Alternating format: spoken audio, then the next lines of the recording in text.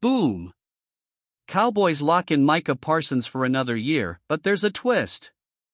The Dallas Cowboys are gearing up for a busy offseason, but they're not forgetting to secure one of their biggest defensive stars.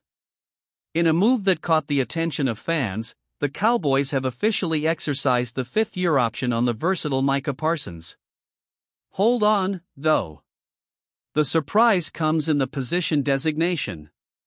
It's not as a linebacker, where he's made his mark, but as a defensive end. The Cowboys are shaking things up to maximize Parsons' impact on the field. Parsons, known for his versatility, has been a force as an edge rusher, racking up an impressive 40.5 sacks in just three seasons.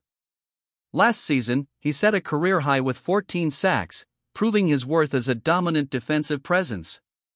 The decision to exercise the fifth year option hints at the Cowboys' commitment to keeping their defensive star in the fold. Stephen Jones, the Cowboys' executive vice president, had already teased some moves involving key players like Parsons, Dak Prescott, and CeeDee Lamb, emphasizing the impact of the salary cap on these negotiations. We want to do a deal with all three of them, Jones stated earlier in the week, acknowledging the challenges posed by the salary cap.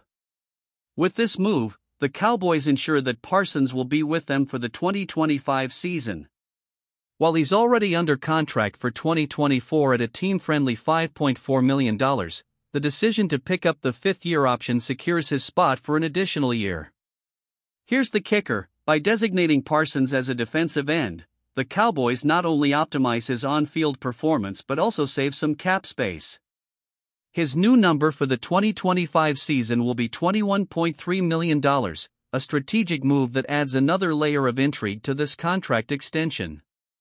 The Cowboys are making bold moves to keep their defensive powerhouse, and fans can't wait to see what Micah Parsons brings to the table in the upcoming seasons.